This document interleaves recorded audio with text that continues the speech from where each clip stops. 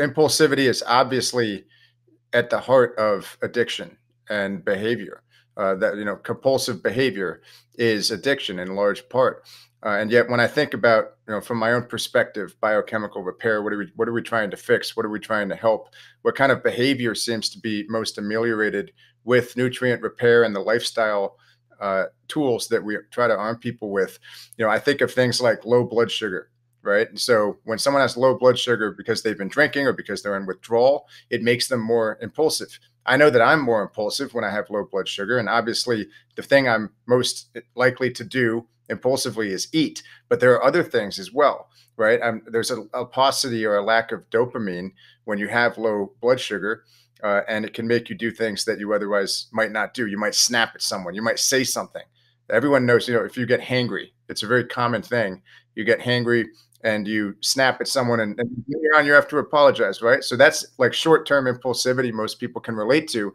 What a lot of people don't realize is that alcohol is a highly refined sugar that causes a ridiculous roller coaster in blood sugar levels. You know, you drink and then you have an, an, increase in blood sugar. Insulin comes, wipes out the blood sugar, wipes out amino acids that are precursors for neurotransmitters like dopamine. Later on, you're low dopamine and you're low blood sugar. So that's just one pathway. Uh, in addition to that, you know, you would have um, like sleep deprivation, which is very common with addiction. Maybe because you're up all night taking drugs or drinking, uh, or just the fact that, as we know from uh, I can't remember the call. I think it's Dr. Uh, Matt Walker who wrote Why We Sleep. Just one drink disrupts your REM sleep. So imagine you having 10 drinks or even five drinks. Uh, or if you're like me, 20 or 30 drinks night after night after night. You're getting basically no REM sleep. You're never rested. And we know that there is a, a correlation between impulsive behavior and sleep deprivation. Uh, there's lack of clarity. The prefrontal cortex doesn't function properly. So that's another, you know, it's a double whammy at that point. Actually, it's probably a triple, quadruple, quintuple whammy, you know, because there are other things going on, dysregulation of your stress hormones. So people who are drinking or using drugs have often imbalances with cortisol, adrenaline, um, even on a neurotransmitter level, you have too much glutamate. So that's more brain electrical activity, which it would seem I haven't, I mean, I'm not a researcher, but I wouldn't be surprised to find that people with an excess of glutamate and a deficiency in GABA, GABA being the calming neurotransmitter, would be more likely to act impulsively. Right. So you can, everyone knows who's, who's been a drinker, the feeling of being shaky or being frenetic. And that seems to be related to actions that can be impulsive that are taken in an effort to try to distract from that unpleasant uh, sort of manic state um, or just doing things because your your you know your mind is like a, a, a pinball in a boxcar. I think someone said uh, recently, maybe it was BB, I can't recall, old saying, but you know your brain is just on fire, and so you just need to do something, and, and it's not always the best thing. You know, for some people it could be eating.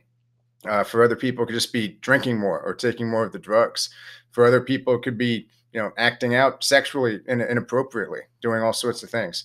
Um, so there's there's a wide variety of manifestations of impulsive behavior, and I can recall when I I worked in New York, which was my old stomping ground, and it's always funny to go back there. And I have I have a sort of zen now, and I've done yoga and meditation, and I read books before bed. I, I get you know seven to nine hours of sleep most of the time. I try to average eight. It's probably more like seven recently. Um, but I'm in a much different mind space, and my physiology is so different. And I have no interest in immersing myself in the toxic alcohol culture. It's such a noisy place compared to where I live now here in Savannah. You know, my blood pressure always comes down when I when I'm here, when I return here. But when I go there, you know, I, I start thinking of like some of the things that I did that seem insane.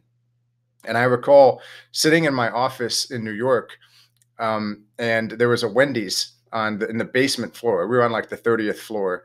And if I had bad enough withdrawal, you know, my hands are shaking and I'm trying to do spreadsheets at my desk, my boss was yelling or whatever. And I, I remember reaching the point frequently. I would say, I can't take this. It was too early to justify drinking at that time, but that's what that's what I really wanted was to have a drink.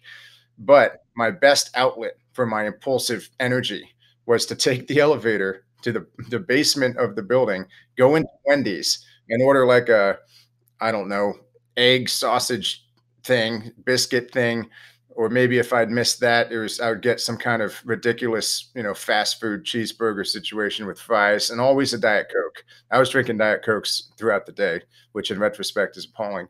But I would do that. I would have the the you know fried potatoes and the um, and the greasy meat or eggs or whatever, and the carbs, the processed carbs, and all the grease, and that would just kind of like oh, it, would, it would calm down my system for a minute I didn't realize any of the things that I just said were going on. I just thought I was defective or that I was stupid or that I was immoral, that I couldn't handle myself. And I had to go down and, and I would literally sit in the corner. I remember once I had colleagues that were walking somewhere. They'd probably gotten gone to have a, a meeting at some uh, you know healthy breakfast place and they were returning and i was sitting in this wendy's alone and i was wearing my suit and I, and I saw them coming. I ducked under the table because I didn't want them to see me stuffing my face with Wendy's, you know, for for no reason alone. Uh, so yeah, that was that was embarrassing.